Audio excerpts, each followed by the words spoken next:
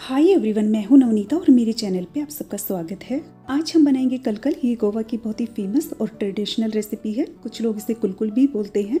गोवा में इसे mostly Christmas पर बनाया जाता है और ये खाने में कुकीज़ के जैसे लगती है। पर आप इसे जब चाहें बनाकर खा सकते हैं तो आइए रेसिपी शुरू करते हैं। सबसे पहले एक बाउल में वन फोर्थ कप सूजी लेंगे और इसमें तीन बड़े चम्मच घी डाल लेंगे। घी को मैंने मेल्ट करके लिया है। अब इन दोनों को मिक्स कर लेंगे और इसके बाद इन्हें 10 मिनट तक ढक कर रख देंगे। दस मिनट हो गए हैं और ये सूजी भी थोड़ी फूल गई है। और अब हम डो बनाएँगे तो इसके लिए बाउल में एक कप मैदा डालेंगे, one third cup powder sugar लेंगे, एक पिंच नमक डालेंगे, ये डालने से इसका टेस्ट और भी अच्छा आएगा। क्वार्टर छोटा चम्मच वनीला एसेंस, और अब सूजी और घी जो हमने मिक्स किया था, वो भी इसमें डाल देंगे, और इसके बाद पहले इन सबको अच्छे से मिक्स कर लेंगे।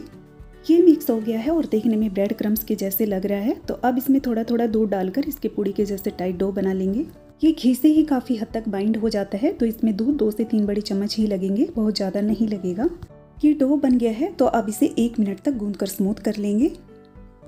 अब इसमें थोड़ा सा आटा लेंगे, लगभग नींबू के साइज़ के जितना। पहले इसकी लोई बना लेंगे, और इसके बाद इसे इस तरह से हाथों से फैलाकर सिलेंड्रिकल शेप देंगे, और इसके बाद इसे हाफ़ इंच के गैप में पीसेस में कट कर लेंगे। और अब इसे कलकल की शेप देने के लिए या तो अनयूज्ड कॉम ले सकते हैं, या फिर फोक ले सकते हैं। तो हम दोनों ही वे बनाने वाले हैं। पहले कॉम से बनाएँगे।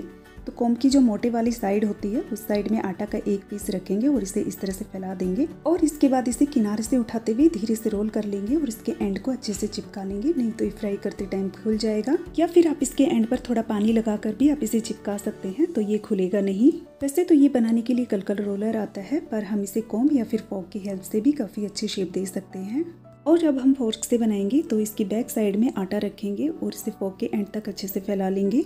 और इसके बाद इसे किनारे से उठाते हुए रोल कर लेंगे। कोम या फिर फोक आपको दोनों में से जो भी कंफर्टेबल लगे, उससे आप ये कलकल बना सकते हैं। और ये मैंने कुछ बनाकर तैयार कर लिए हैं और अब हम इन्हें फ्राई करेंगे। तो इसके लिए पैन में ऑयल लेंगे और इसे मीडियम गर्म करेंगे। अब ऑयल को चेक करने के लिए इसमें आटा का छोटा टुकड़ा डालेंगे। इसमें तुरंत ही बबल आने लगे हैं, यानी कि ऑयल गर्म हो गया है। तो अब हम इसमें एक एक कर कर कल कर डालेंगे। ये हमें एक साथ में बहुत ज़्यादा नहीं डालना है, जितना आराम से आ सके उतना ही डालेंगे। और अब इन्हें मीडियम फ्लेम पर गोल्डन ब्राउन होने तक फ्राई कर लेंगे। इन्हें कुछ देर फ्राई होने दें और जब लगे कि ये हल्के ब्राउन होने लगे हैं तो इन्हें पलट देंगे। और अब इन्हें थोड़ी थोड़ी देर में पलटते हुए सब तरफ़ से गोल्डन ब्राउन होने तक फ्राई कर लेंगे। ये फ्राई हो गए हैं तो अब हम इन्हें पेपर नैपकिन पे निकाल लेंगे ताकि इनके अंदर जो भी एक्स्ट्रा ऑयल है वो एब्जॉर्ब हो जाए और अब सेम इससे बाकी के बचे हुए सारे कलकर को भी फ्राई कर लेंगे। सर्व करने से पहले इसके ऊपर या तो आइसिंग शुगर या फिर पाउडर शुगर डस्ट करें। और इन्हें आप बनाकर 15 से 20 दिन तक स्टोर कर सकते हैं। इन्हें आप शाम की चाय के साथ में या फिर जब भी कुछ हल्का फुल्का मीठा खाने का मन हो तो इंजॉय कर सकते हैं।